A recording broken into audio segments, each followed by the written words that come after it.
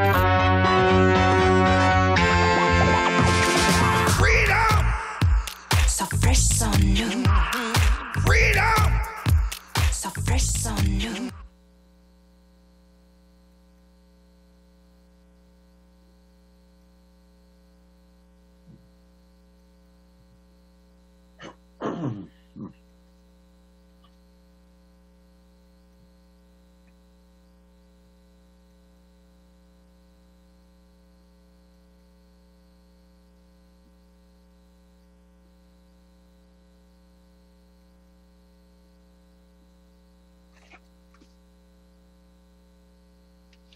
Oh, uh, good evening, everyone. Um, thank you so much for joining us.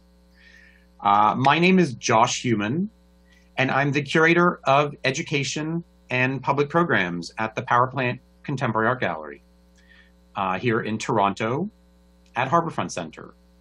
I am so thrilled and delighted to um, welcome you this evening. This is our first collaboration ever with Pride Toronto, and really my heart swells and bursts um, with joy over this. Um, it's really a dream come true. Uh, I was born and raised here in Toronto. I went to the Pride Parade in my younger years, uh, brought my husband to the Pride Parade when we finally uh, were together. Um, and so I'm delighted to participate now uh, in a programming capacity.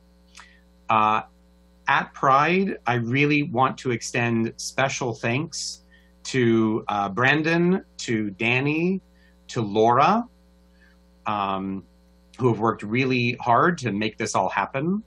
Uh, of course, my extreme gratitude to all the artists who are here with us this evening. Uh, and for those of you who may have uh, challenges with your audio, uh, we do have ASL interpretation. Um, so the genesis of this program is uh, playing off of a presentation format uh, that some of you are familiar with, where artists show, or people, speakers show 20 images for 20 seconds each, which is like a roller coaster ride. It's very challenging and it's a little overwhelming for both the presenters and for the speakers. So we've slowed it down just a little bit. Um, so in some cases, you'll be hearing from artists who are showing several images, but not too, too many. Uh, and from one or two artists, uh, you may not see any images because they're really focusing on the ideas with which they grapple. Um, but I felt it was really important during Pride to bring art in a fine art sense um, to the table. Uh, we have incredibly talented artists, uh, brilliant thinkers uh, who produce visual art objects and experiences that go in galleries, uh, are installed in sometimes very unexpected spaces. Um, and sometimes they are performative. So they're not necessarily making objects at all. Uh, so without further ado, we're going to uh, jump right in uh, to our first artist, uh, born in Nairobi, Kenya, an internationally recognized Canadian artist working at the intersection of dance and visual arts. He's currently based out of Chicago, uh, and his projects address issues of race, queer culture, migration, protest, and other forms of collective movement. So please welcome to your screen, Brendan Fernandes. Uh, can you hear me? Yes.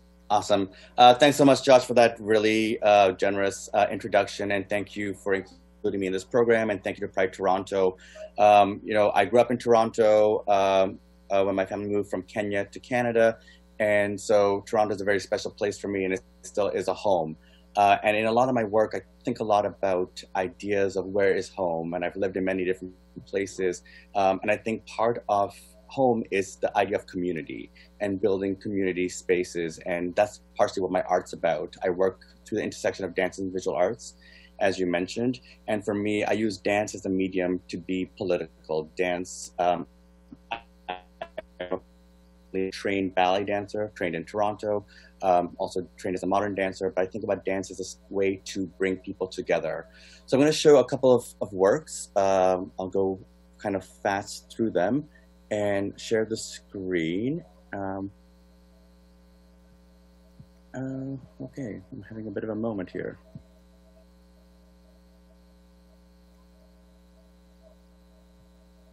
Are you seeing my screen? Okay. So I'm going to show a quick presentation of my work. Um, and I think a lot about my work through queer spaces, you know, queering as a space of inclusivity, queering as a space of gathering, social solidarity. And when I bring people together to dance, not necessarily just like in a formal way as a ballet dancer or a modern dancer, but also through the club space, I think a lot of when I lived in New York for the last 16 years, how the club became a space for social solidarity, a space to to be inclusive, a space where I could feel freedom and sanctuary. Um, and the dance floor became a very important place for me um, because also the dance floor as um, as a formal dancer becomes this question of resistance. The way the body is moving on a, an architectural form this flat surface that also penetrates and hits your body. And so i started to think a lot about that space uh, for me vogue culture um, the space where queering could be really a, a moment to engage with each other and so this is a piece called Free Fall 49 that was based on Pulse Orlando, when people, um, you know, gathered in a nightclub to find freedom, to find sanctuary, but our sanctuary was infiltrated. We were, um, we were hurt. 49 people fell to the ground. So I always think about the notion of falling, and I choreograph this notion of falling. Like, how do I choreograph a fall that makes a body touch the ground, but also protect the, the ground? Um, and this, a lot of my work deals with these kind of gatherings of bringing people together, and in the end, we all dance. And so I make a lot of work based on these ideas of of protection. Who takes care of my body? Who's looking after our bodies? Who sees my body as being visible? And so a lot of my, my work thinks through these ideas. Um, I also think about, um, you know, specifically this piece on flashing lights was a piece that I did in Toronto in 2018, thinking about, again, visibility, who's taking care of my body, thinking about the queer community in Toronto and how the police and the queer community had um, um, you know, um, like conflict, you know, and I think it's it's okay to say that. And so I made this piece where we we danced in Nuit Blanche for a number of hours, but we danced to the lights of the police sirens. And I always question this idea of being invisible, but also being visible, political spaces. How do we also bring people into a space to gather, to be with each other? Um, and as you can see at this piece, we were sitting, standing in front of City Hall and we've had this mass, critical mass. So I think about it through social political spaces of gathering huge amounts of people. Um, and it's a form of protest in a way. You know, when we come together, we are we are making a solidarity. I think our communities are fractured, and we need to create communities and gatherings where we're not saying that your struggle is different than my struggle. We are all coming together to find a commonality, to find our civil rights, to fight for our civil rights. And so this is um, part of On Flashing Lights.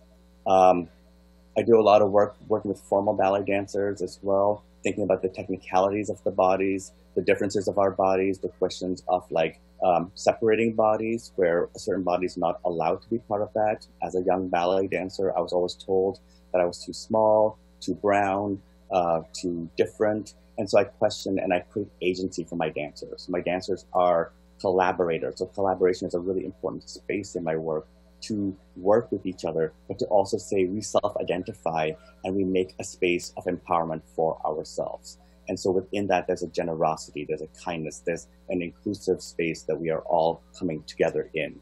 Um, so this is a piece called Master and Form that was at the Whitney Museum this past year. Um, I also work with dancers to think through making questions of like how do we gather and support each other through a choreography that's based on collaboration where I give them like motifs or tasks and then we work with each other um, to formalize these these notions of, of being the same. Um, I'll end on this piece. This is a piece called Free Fall for Camera, which will debut in uh, hopefully next year at the AGO. uh, based on the idea of falling, I made a film to show that when we fall, we stand up again. And so we start to fall and make these motifs, these patterns, but it's about a falling body that is a vulnerable body, but one that will stand up again. So the political gesture of standing becomes a political gesture of moving forward. And I think right now in this this space that we're in right now, we need to think about moving forward. The political futures, um, how do we make those? And that's the work that we have to do. Um, and it's really important. And um, I will end there. Um, thank you. Getting emotional.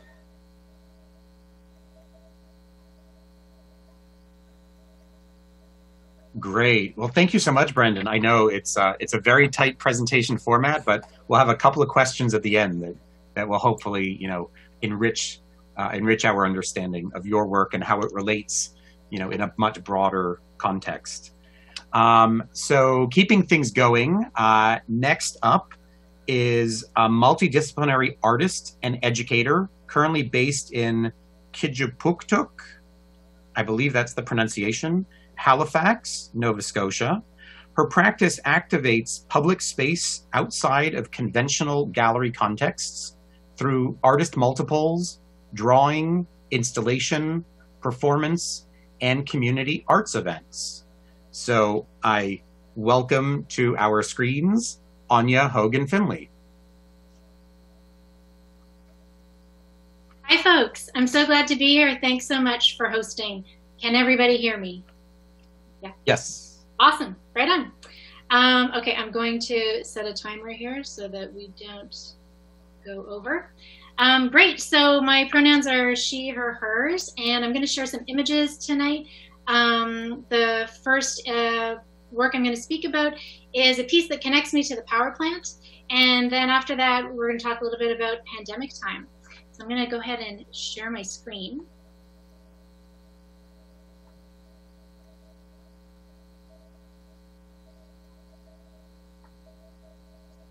Almost there. All right, are we set? Yes, okay, cool. All right, so I want to acknowledge that um, today I'm calling in from the ancestral territory, uh, the unceded territory of the Mi'kmaq people, and I'm grateful to be a visitor here. I'm originally from New Brunswick, and uh, prior to moving to, to Chebucto, Halifax, I was living in Southern California. So some of the work I'll be talking about relates to that move as well. Um, so, going to be talking about periods and pandemic. When I moved to Los Angeles, I was um, focused on uh, working and activating the archives at the, the One Archive. So initially, my research was looking at um, representations of lesbian content in printed ephemera. And um, then my, the, my critical eye kind of shifted to look at what was missing in the archives, namely representations of queers of color and trans folks. So I did a bunch of work uh, around those, those ideas and themes. And in part of my research, something that I came across was a box of calendars. And these were a box of calendars that had kind of accumulated and had not yet been, um, had not yet been sorted and, and cataloged by the archivists. So that, that discovery of these calendars inspired me to make a piece um, that was in response to an invitation um, by Jon Davies at the power plant, and it was for an exhibition called Coming After. And so the result of that was to create this calendar called Periods uh, 20 or 2020 or 2012, pardon me, and it was looking at um, the specific kind of range of calendars created between 1984 and 2000 and uh, well, it would have been 2011. And so it was really, um, you know, I, want, I was curious to see if the, the AIDS crisis and pandemic, if it influenced the kind of graphics and the kind of imagery that um, that was found in these calendars. So these were calendars, some of them from um, LGBT organizations, and some were um, calendars that were donated to the archives. Maybe um, sexy firemen, these kinds of things. So it's quite a range of, of kinds of imagery. So that piece um, you know, looked at this idea of a repeating calendar year. So if you have a calendar from 1984, you could use that calendar in 2012. And I bring that up because something I've been thinking about a lot these days is this idea of um, looking back and looking forward. And so if we look back 28 years to a repeating calendar year, we look at 1992. And I was speaking earlier to um, to my good friend Paige Gratland, and she was talking about the idea of how we engaged with uh, when we were teenagers in '92 with imagery of the um, the uprisings, the riots happening in Los Angeles in response to the Rodney King um, verdict when that came out. Uh, being teenagers, kind of understanding what that was, and there's been a lot of screen time we've all been engaging in now uh, at home in this pandemic era, as well as in the streets. So the uh, other image that I've shared here is a, a, healing walk that took place here honoring um, Chantel Moore. And this happened um, all across North America, and this was a walk that was in, in Halifax. So thinking kind of back, back and forth um, about what's changed, you know, the same battles that we're still fighting these years later, um, uh, I wanted to kind of hearken then this idea of uh, forward thinking and looking forward to 20, 2048. So that'll be the next repeating calendar year. Where will we be then? Much of my time since moving here in Halifax and time during pandemic has been spent um, educating myself and, and, doing research about what this place is and my kind of role in this place. Uh, my background is uh, white settler ancestry. Irish Canadian, and so what it kind of means to be here, take up space here in this place. So these are just a few um, kind of books, podcasts, and some films that I've been looking at. Some specifically from that kind of 19 early 90s era and and contemporary things as well. And um, so, um, what I'm calling instant messaging. So, initially, in those first days of staying home in the pandemic, um, uh, something that I ended up doing and and we inspired uh, the my neighbors here. We inspired each other to post messages to residents and frontline staff living in the North Care um, uh, facility that uh, my apartment faces out onto in Halifax. So for a time, the the um, Northwood Care Facility was the epicenter of the pandemic here in Halifax. So we posted messages to to each other back and forth. And prior to using the windows in that way, um, the room in my apartment, I had been, I had kind of transformed into a camera obscura. So this segues into work that I'm doing now that is um, supported by the Canada Council. Thank you, Canada Council.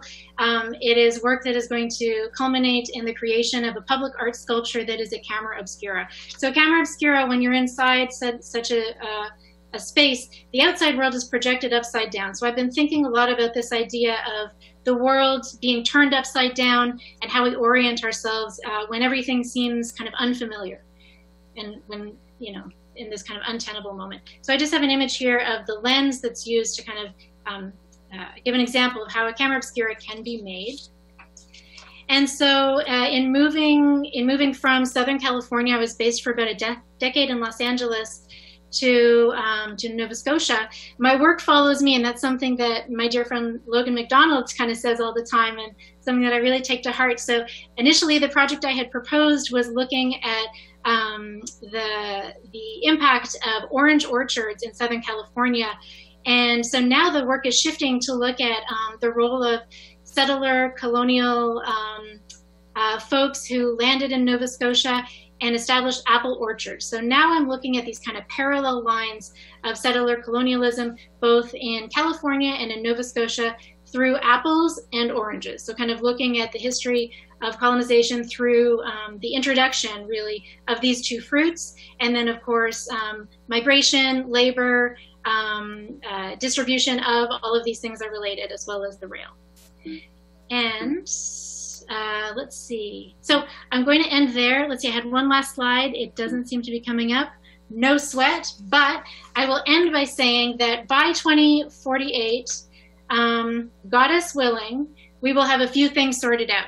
Some of these things I hope will include reparations, including land reparations, and apologies issued to survivors of residential schools, uh, folks who were forced to live in internment camps, generations who've been impacted by slavery, de-escalation training and culturally responsive pedagogies as common practice in all levels of education and healthcare, restorative justice replacing mass incarceration, abolishment of the police, civil rights that have been won by marginalized people for, for everyone to keep those and for them not to be threatened with each new administration in power.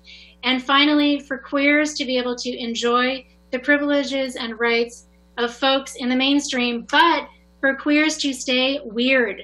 So that is what I hope for our, our looking forward for the next um, 28 years of repeating calendar year. So stop screen sharing. Let's see, did we do it? We good? Good. Awesome. Well, thank you, Onya. That was a that was a sprint to the finish, but really such a, an amazing story. Um, you, like Brendan, sort of, you know, Canadian or here in Canada at some stage, going abroad. Uh, in your case, coming back. Um, I understand because I move off moved off to the U.S. for 16 years and moved back and came back to a very different Toronto um, from 1980 from 1999 to 2016. So I, I understand entirely.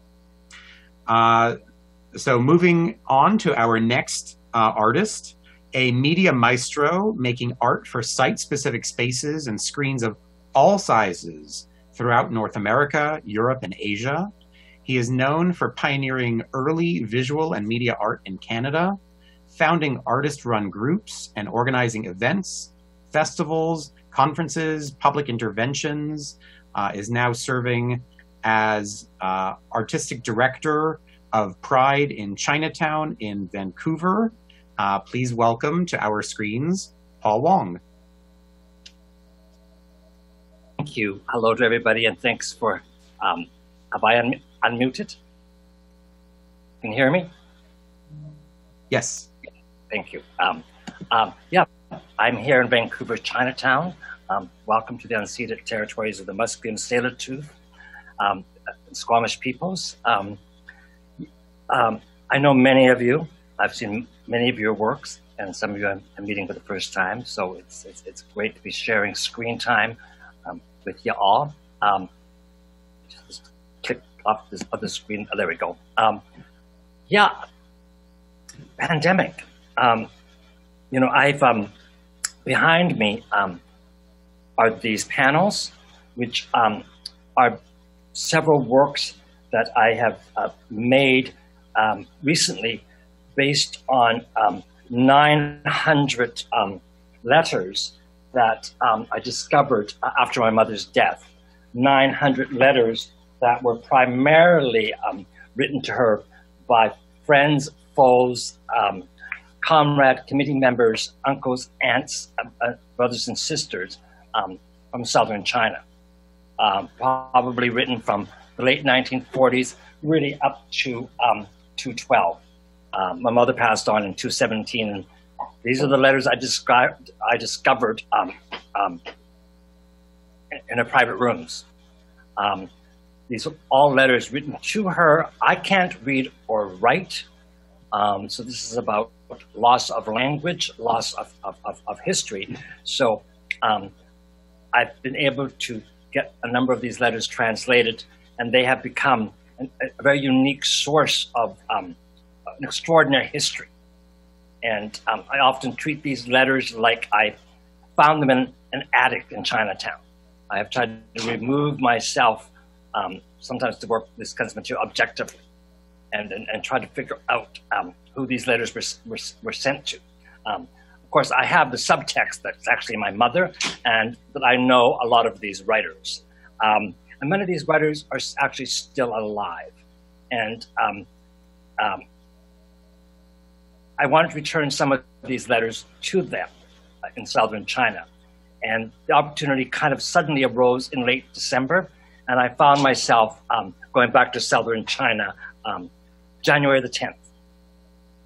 Very well aware that there was um, this virus ha- happening, um, which I certainly kept track of. Um, I ended up coming back early.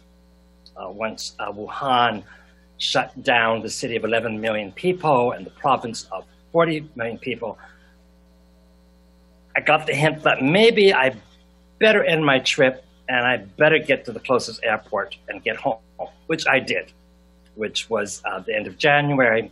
And then I ended up quarantining um, and isolating for 14 days. Um, certainly to kind of keep myself and the community safe, but also, you know, didn't really want to be the, the old Chinese guy coming back from a trip in China, walking around wearing a mask.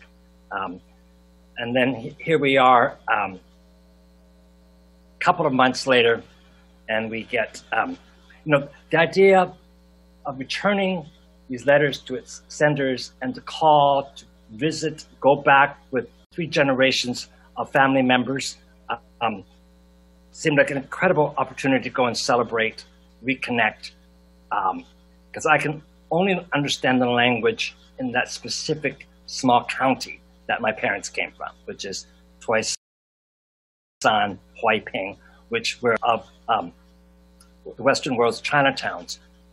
Most of us came out of there through the Pearl River Delta and occupied the, the Philadelphia, the Chicago, the Toronto, the Vancouver, the San Francisco, the, the British colony Chinatowns. Um, so only in that area can I understand the language fluently. So the idea of going home seemed very attractive. Then this idea of getting home as quickly as possible seemed very urgent. And the notion of coming home to Vancouver, Canada, to my own home, I thought meant a level of safety and comfort. Come mid December, you know, Trudeau is telling everyone to come home from abroad. And we begin our lockdowns here. So I'm saying the, um, so this has been such a major part of me for the last seven months. And, um, um, you know, I don't like the term new normal. Um, um, um, and how this has affected my work, because I've also working on a book. And having made that return trip to China, which I didn't want to do until I finished the book, because I didn't really want to have that um, affect the way that I was reading these letters from, the, from an outsider point of view and not having that connection. But obviously, that has shifted. And obviously, everything else that's happened ha- ha- has shifted um, in terms of, of, this notion of um, where we settle and, and, and, what that means. And again, of course, also with language. Because, you know, I went uh, in, in, into China with a new phone stripped of all my apps. But I did have VPN, which actually allowed me to access a number of my uh, English news sources. So that, because I don't understand Mandarin, so I don't understand radio or television. Um, so, so um, my keeping informed of the impeding virus um, has always been this negotiation between um, language and access to language. And of course, this um, affects the way that I have been working with the translations and the reading um, of, of, of, of, all these letters, which are in Chinese. Now, the other project I'm working on, um, as I also work as a, uh, is Pride in Chinatown is a festival that I've been doing in Chinatown for the last two years, which was the first time um, that there has been a, a, queer presence in Chinatown. And I've been trying to facilitate what a queer pan Asian aesthetics might be. Um, and this year, of course, um, I can't do this new festival that we've been doing as an alternative to mainstream West Side, bringing queers into Chinatown. So right now, I've just finished um, um, selecting a, a, number of artists who are going to do site-specific works on hoardings, doorways, windows, shop windows that would invite people to come and engage these works throughout Chinatown. So, you know, pivot, pivot, pivot, but it's a way of being able to actually claim now all these different areas in Chinatown and to invite artists to do interesting works and to invite um, viewers to come down, social distance time, to spread out and um, find these works in Chinatown. So that's where I'm at right now.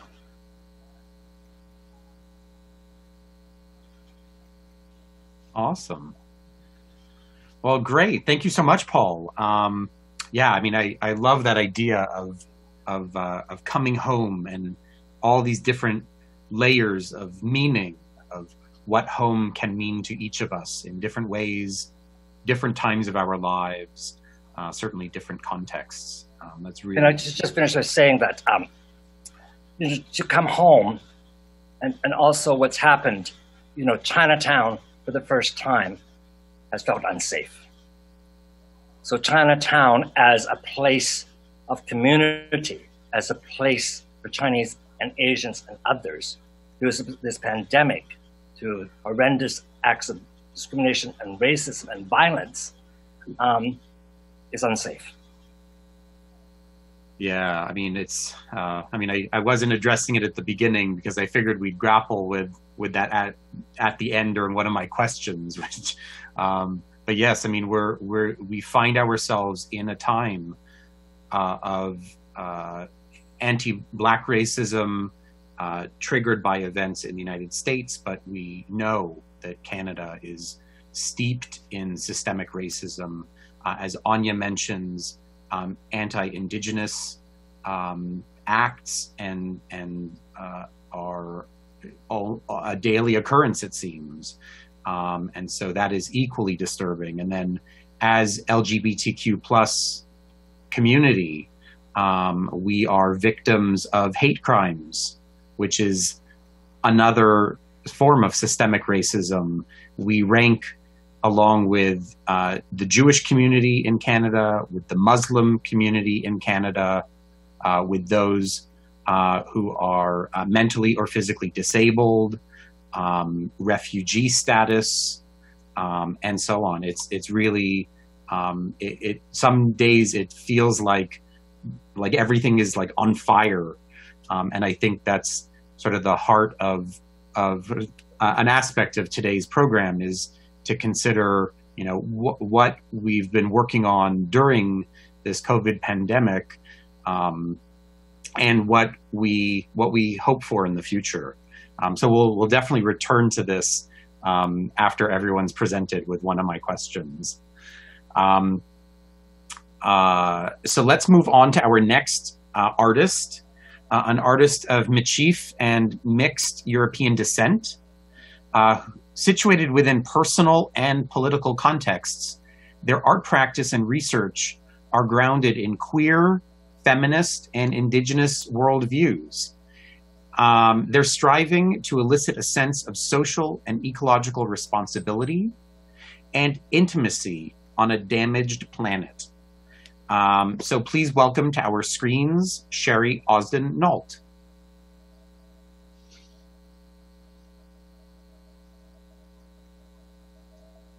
Oh, you're muted.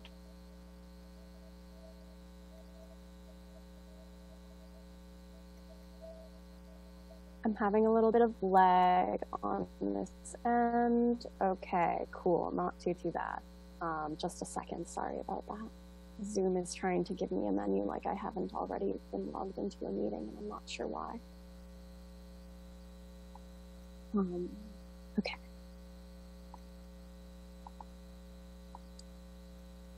Hopefully any second now. I really don't know why Zoom's being upset with me. Okay, great. Great. I can see everything. Um, thank you for that introduction. Um, I don't believe I noted that there was a land acknowledgement for us here in Toronto, which of course is where the power plant is located, and some of the other presenters. Uh, so I will maybe take a moment and do that. And I'm also going to bring up my share screen now. Um, Hmm. What is happening?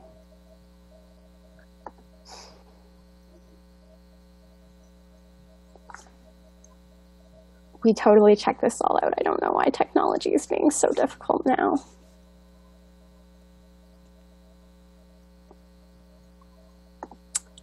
I'm really sorry, I'm just not getting an, uh, there we go, an option for Keynote to share screen. I've got it now.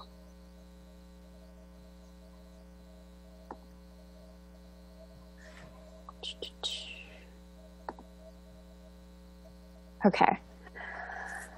Um, so I wanted to say that I'm in Toronto, which is traditionally known as a meeting place.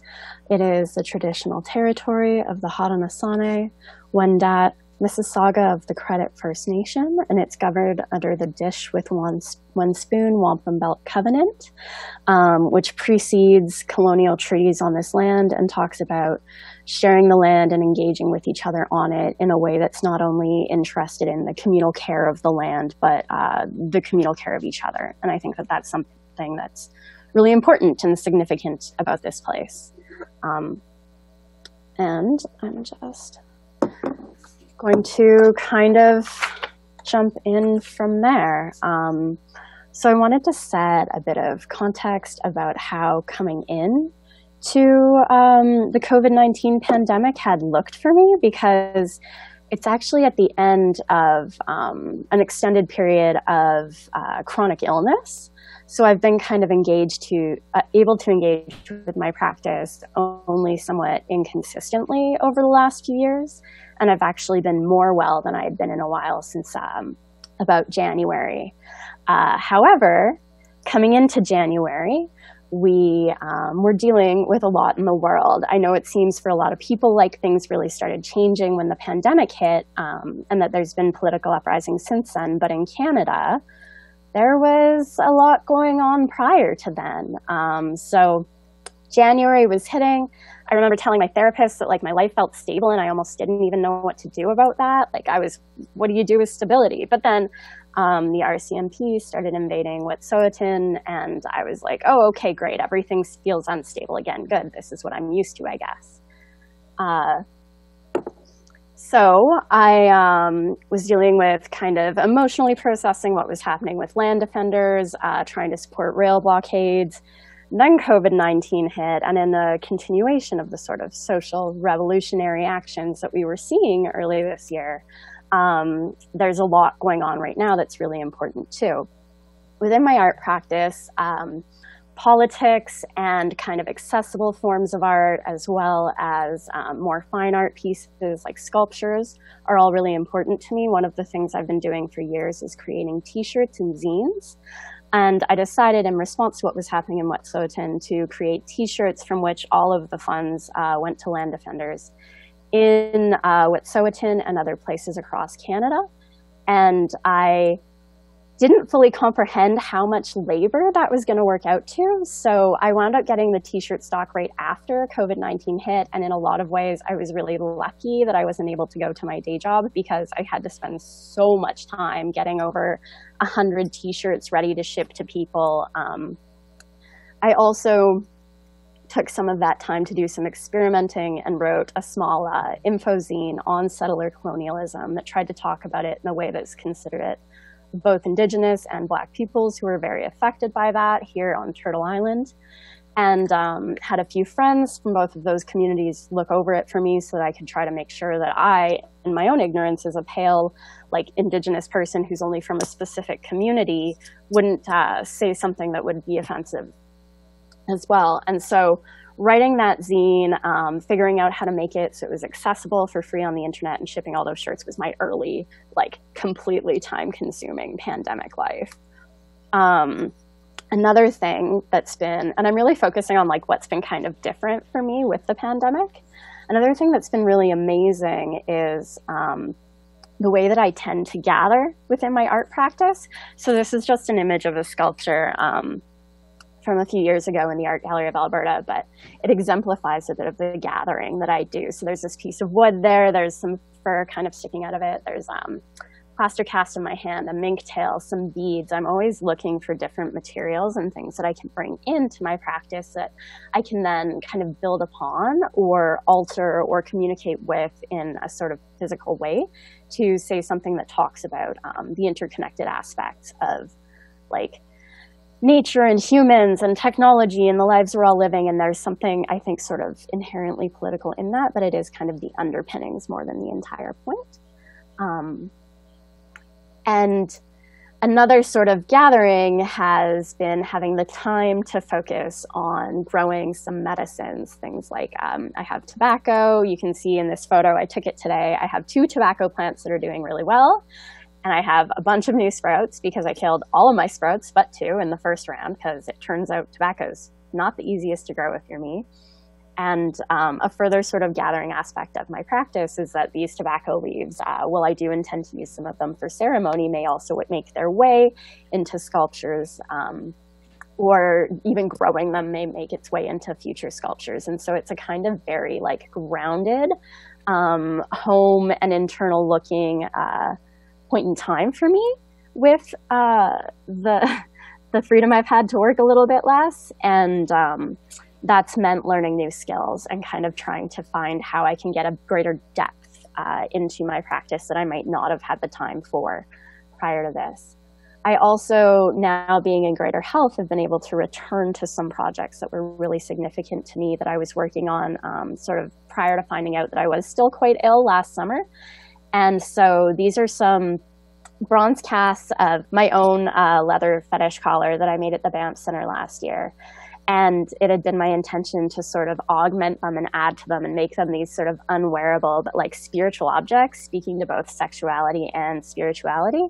And I've had time to return to beading, which you can see um, is sort of just stuck alongside the piece that it's in relation with there and trying to become better in those skills. I've been looking at a lot of different beadworkers uh, work and how they're doing things with a kind of time that I didn't get to commit before.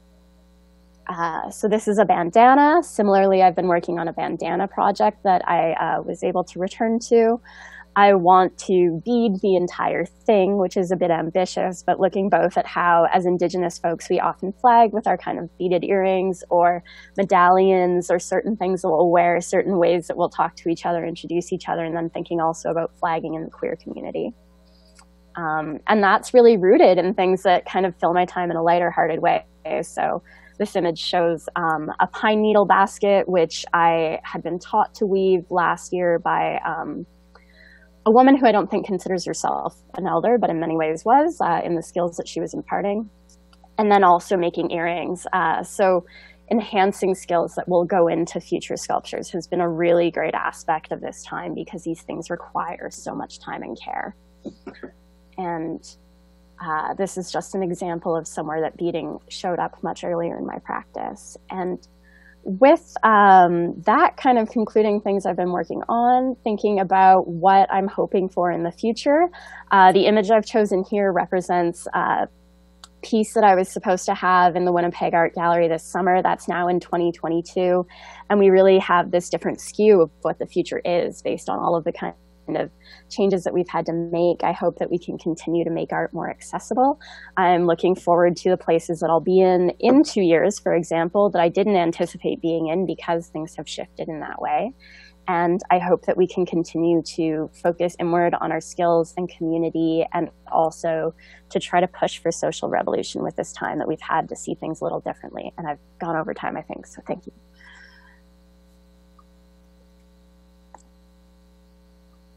Well, excellent. Thank you. Thank you so much, Sheri, for that. Um, I really like that sort of that uh, that conflict of the notion of time and care for the self at home, and then you know social activism, going out there and really championing um, these causes for uh, for indigenous rights, for LGBTQ plus rights. Uh, and, uh, I think it's you know obviously I think we're all here because we are uh, hopefully really all invested in in that. Um, our final artist presenter for uh, this evening's program, and I'll fill in, we'll say, for Public Studio. Um, but our final presenter for the evening, uh, Vanier scholar, a visual artist, an activist, a curator, and an educator who uses painting, installation, and performance to explore social justice frameworks and Black activist culture. He's shown widely in galleries and festivals across Canada.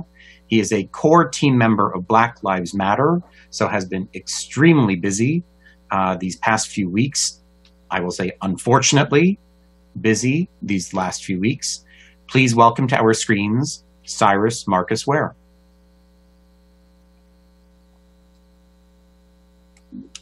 Muted. Right. Hello, everyone. Thanks so much for having me. I'm actually in the part of Toronto that was underwater at the time of the Toronto Purchase. So I'm on unceded territory, uh, the territory of the Mississaugas of the Credit, the territory that Chief Stacey Laforme says is unceded. And uh, it's an honor to be coming to you from this, this territory and this land right now. Um, I'm going to try to uh, share my screen and come back and forth a bit just uh, to allow for the interpretation and for people to be able to read my lips. So uh, bear with me as I uh, attempt this technology. Um, so uh, I'll just uh, start by showing you this uh, quote that has really guided a lot of my practice. Whenever we try to envision a world without war, without violence, without prisons, without capitalism, we are engaging in speculative fiction. All organizing is speculative fiction. Um, so I've been really thinking about that. It's not a beautiful idea that all activism is speculative fiction. Um, so all activism is speculative fiction. All activism is daring to dream that another world is possible. And as an artist, I've been really guided by that. I've been really, you know, inspired by the possibility of daring to dream that another world was actually possible. Uh, you know, that Toni Cade Bambara quote that's been going around a lot now. It's actually the title of my, my PhD thesis, Irresistible Revolutions. You know, she says that the goal of the oppressed artist is to make revolution irresistible. And so that's been really driving my practice. And so speculative fiction is a big part of what I do because I'm daring to dream that another world is possible. Um, I started, um, let me share my screen again here. Um, I started uh, my practice uh, um, early in my practice writing love letters to activists, really trying to support and reach out to people who are on the front lines, who are doing the work, who are doing the labor of organizing, and who often bear the brunt of the stress and the, the you know the the what it means to be so public as an activist in this current moment. Um, and so I started writing love letters to them as a way of trying to ensure their survival. And then I started drawing portraits of them. I started drawing giant portraits of activists, larger than life, um, as a way of celebrating and honoring um, their labor, their their organizing, their brilliance.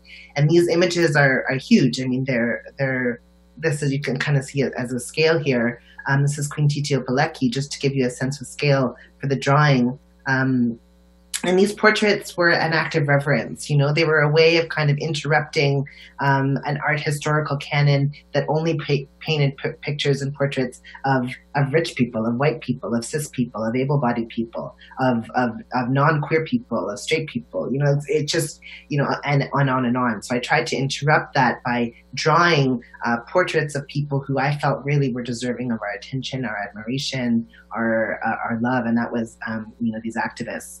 One of the portraits that I drew in 2015 um, was this one. And um, this uh, portrait uh, was drawn of a, a, an activist in um, in Minnesota who had been partaking in an Eric Garner related Black Lives Matter protest and had uh, worn a mask that said "I can't." I can't breathe, which was Eric Garner's famous last words. And I drew that portrait because I was so uh, in awe, like just so in awe of this black activist in of all places, Minnesota, you know, taking over the Mall of America, which they ended up doing, and doing this massive demonstration.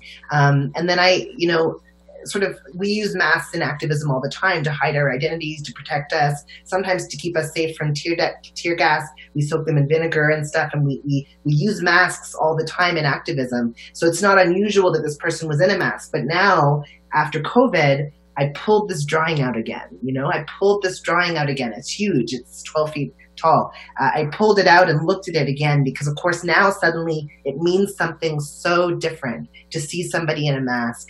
And of course, then to have, you know, George Floyd be killed and once again to say, I can't breathe and it not matter.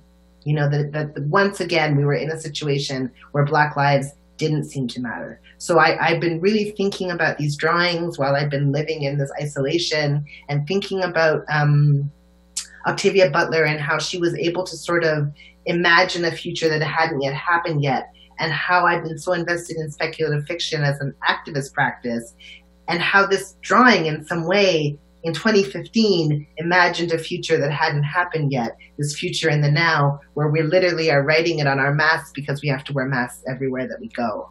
Um, I also uh, started writing speculative fiction recently. I wrote a play and uh, made an installation that was about uh, Antarctica um, and was about this idea, this really real thing that there's been people sent to Antarctica to be born to stake a future land claim. So humans don't seem to be able to learn that colonization is never okay.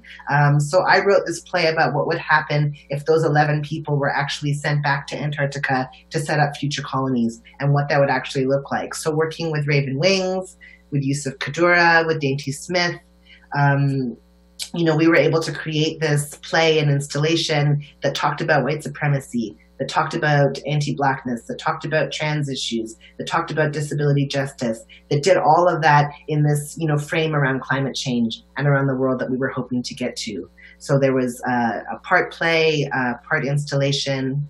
This was all created for the biennial and there was a sister piece that I created with it that was called Ancestors Do You Read Us? And it was set in the future in 2078. And it sort of was a look back at the now. And it was our ancestors, our, sorry, our great great grandchildren telling us, their ancestors, what we needed to do in order for them to get free. So overthrow capitalism, solve climate change, you know, er eradicate systemic racism. These were the things that they were employing us to do. And I had a chance during the quarantine, during COVID, to be able to rework this imagining and rewrite. And so for Folda, I wrote a story that imagined uh, the, the moment right after the ancestors, uh, sorry, our great grandchildren gave us this message. Uh, so it sort of picked up on this video and continued um, uh, what would happen, uh, what would happen in the now, I guess, in the sort of just immediately after COVID that we would need to do in order to make sure that our, our great grandchildren got to be free. Um, and then uh, lastly, I've been spending a lot of my time during uh, quarantine uh, doing activism. I mean, my artistic practice is inseparable from my activism and vice versa. Um, it's, it's absolutely essential and they go hand in hand. So I've been making activist posters. These are some of the ones that I've been making. I've been involved in a lot of large scale campaigns around defunding the police and around trying to address this ongoing violence of policing directed towards Black and Indigenous communities. And um, so I've been making uh, posters like you can see here. Um, and then we also uh, did a large scale um, uh, uh, uh mural that I designed um, that we did for Black Lives Matter. And I'm just going to really quickly show you it and then, uh, and then we can kind of get into discussion.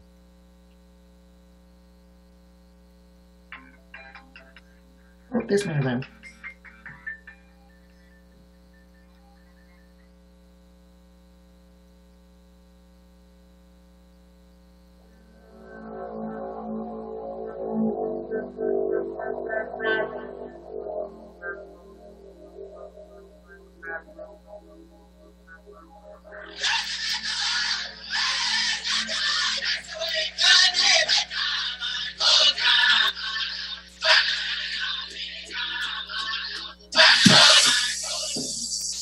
it's hard to listen, but listen, cause it's much harder living it than listening to the hardships. So the heart's conditioned and condition the air when the air the conditions keep cool with more tears. Sometimes to clear the vision. Now what I see been a long time coming to try running, rocking, reaching new peaks so the youngest can finally summit, climbing high above and climb from it up to the skies and understanding the corruption and deconstructing the lies. I've seen this country decline, trying to keep discussions confined, hide highly decide over extract and try to undermine Damn, I still believe in the truth. Listen, MC in the booth with PhD in the suit. Yo, when we got it on the feeling is peaceful. We we.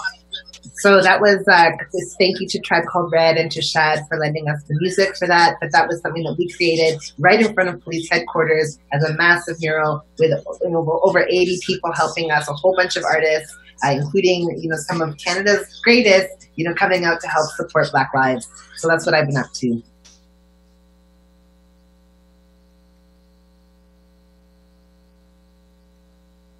Wow.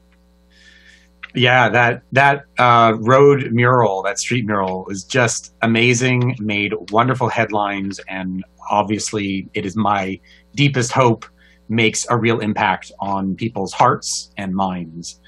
Um, so sadly, our final presenters of the program, Public Studio, can't join us uh, today um, because of uh, an emergency that, to which they had to attend. Um, but I am going to um, very quickly um, walk us through their presentation, um, if I can. Uh, uh, get through to share my screen. Uh, there we go. And share. So, um, so Public Studio has been working uh, on a project. Uh, they're they're calling it the 10 by 10 pho- photography project, and they're featuring 10 uh, lesbian writers you should know. Um, so, uh, Public Studio, for those who don't know, uh, is the collective art practice of filmmaker Elle Flanders and architect Tamira Sawatzky. Uh, and so, since 2009, they've been working under the banner of Public Studio, employing a diverse range of media, resulting in large scale public artworks, films, immersive installations, lens based works, and socially engaged projects. So, um, with 10 lesbian writers you should know, um, they are looking to honor and celebrate the courage to be first. So, I'm not really going to be able to get into all the details about all of these uh, amazing um, lesbian writers. Um, but please jot down their names if you don't know them already. Uh, look them up. Uh, I certainly will be looking up the few that I don't know. Um, so here we go. Uh, so here we see Beth Brant, a poet and novelist born in Detroit, but her ancestral home was in the Tyendinaga uh, Mohawk First Nation. Uh, here we have uh, Makeda Silvera, who was a Jamaican Canadian novelist who started Sister Vision Press. Next is Jane Rule. Uh, this is an iconic photograph. Uh, she wrote the novel Desert of the Heart in 1964, which caused her to become, in her own words, the only lesbian in Canada uh, because so few people were out and proud at that stage. We have Nicole Brossard, a Montreal poet who recently won the Griffin Poetry Prize for Lifetime Achievement in 2019.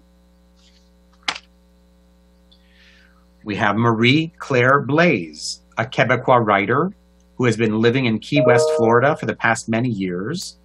Um, came to prominence in 1959 with her first novel, La Belle Bête. Nalo Hopkinson, an award winning science fiction writer, speaking of speculative fiction, a science fiction writer, the author of many novels that mix dystopic futures, West African magic, fantasy, horror, love, and race. We have Noreen Stevens, the author of The Chosen Family, a serial cartoon that ran from 1987 to 2004. Susan Cole, a Toronto based writer, one of the co founders of the Lesbian Organization of Toronto. And oh, uh, Trish Salah, a Toronto based poet, now a professor at Queen's University in the Department of Gender Studies. And finally, Shani Mootoo, one of Canada's acclaimed novelists, but is also a visual artist. So that uh, that is a series that Public Studio has uh, produced. So I know we're running over time, literally have like a minute to go. So I'm going to pitch out one question to all of the artists who have presented tonight. Um, and my question is in one line or even in one word, if you can. Can art bring people together and how? Who wants to be first? Um, and I mean, I love, um, uh, you know, but I guess Brendan opened it up. You know, you know, I I absolutely miss um, um, the human connection. You know, that's where a lot of our things came through is in festivals, at parties, and clubs, where you see, you smell, you taste, you touch, you feel people. So um, all this lockdown and social distancing in that that regard uh, is not working for me. And anyone else? I think I think that the way um, that we that we do share information, like if you tend to be on social media or communicate with your friends a lot, um, I've seen for years with the kind of gathering that's a part of my art practice, like friends would notice that I'm picking flowers kind of on the regularly and stuffing them in a notebook, for example, and then bring me flowers. And a different kind of aspect of that is embodied in like, I received some porcupine quills and um, some beads from a friend today. The tobacco that I'm growing is from seeds that somebody else sent me with instructions. And I'm like making drawings to make my own instructions because I need more instructions than they gave me, so maybe the next person does too. So there is connection. It's just like a different kind of connectivity. Yeah. Wow. Um, yeah, I was going to say that you know I obviously miss the physical, um, uh, but I love this moment, this gathering, this idea of coming together is still such an important critical mass. Uh, we are disseminating information, and we have to think about things in that you know speculative future. You know, as uh, we've we've all kind of talked about, but Syrus mentioned, you know. Um, imagining a new future, a new possibility, so we can be resilient, so we can find, uh, continue our revolution and our fight. Uh, but coming here, I'm so inspired and I'm so grateful for everyone for, for being so generous and kind, and it gives me hope, and that's a big thing for me. Yeah, I think, you know, arts and artists are essential to the changes that we want to see. I mean, artists literally paint pictures of the future. Like they literally tell, write stories about what could potentially happen and give us warnings and, and do all this amazing, brilliant work that is highly undervalued, to be honest, in, as, as, as what it is, this revolutionary work that is propelling us forward to be better to each other, to take care of each other, to stay strong together, to be connected to each other. Like this is what art does, right? And we are experts at it as, as artists who are trying to fight for change. We are experts at bringing people together and having hard conversations and introducing complexity. Who's talking about prison abolition in a boring two-hour lecture? No, thank you. I'd much rather see a three-minute video or, or, or engage in a really thought-provoking blog article or something that kind of gets people going. You know, see a beautiful painting or see some of the incredible work like Kara Springer and, you know, Sandra Brewster and all these people who are making work right now about abolition and, and about, you know, the, the need for a change in our society. Artists help us have really hard conversations in such beautiful ways. And I'm I'm so thankful for the arts. I'm so thankful that we get to be creative people in this moment. And I'm so thankful to be in this revolution with all of you. I mean, what a beautiful time to be alive. Awesome. And Onya, last word from you. Yes, I think art is the ultimate time traveler, time travel machine. Um, it we make it, we uh, it's the thing that brings us together. Looking back, looking forward, time traveler. Awesome. Well, thank you so much to Brendan, to Onya, to Paul, to Sheri, to Syrus. Uh, good thoughts to Public Studio who need some thoughts. Um, the Black community, the Indigenous community, um, anyone, anyone suffering hate in any way, shape, or form. Thank you so much to Pride Toronto. Um, and uh, uh, thank you all. Uh, until we are free. Woo! Let's keep working. Ow! Thank you. Bye. Okay. Have a good evening, all.